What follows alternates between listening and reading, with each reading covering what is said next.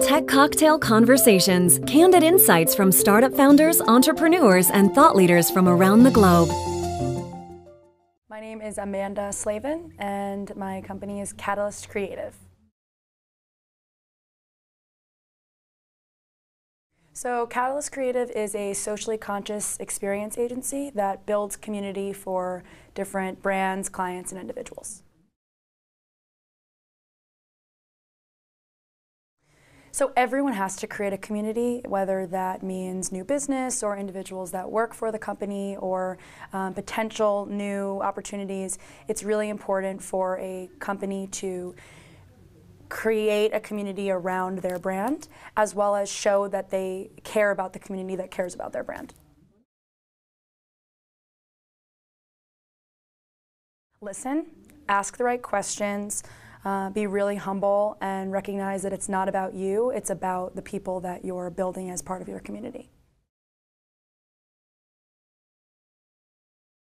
Everything we do is always socially conscious.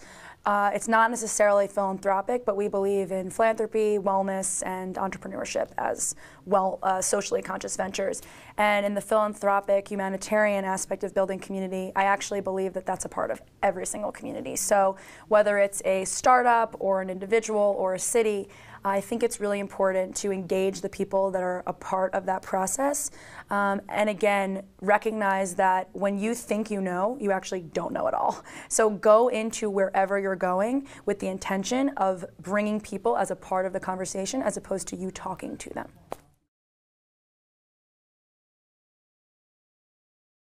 Um, I was a teacher, so I was a first grade teacher, and I wrote my master's on using the community as a classroom and the impact it had on engagement and achievement. And then I went into events and marketing, and I saw the opportunity to rally people together but at the time it was just for drinking and celebrating. And I thought, how can you start to rally people together for something that's a bigger reason than themselves?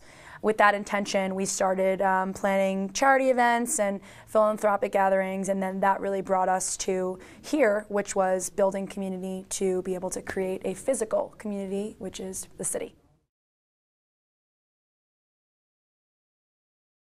Oh, I love Vegas so much. I um, I'm so New Yorker. Like I, you know, I'm high maintenance and I'm annoying and I'm like always. I'm really working on those things. That's why I left New York, I would say.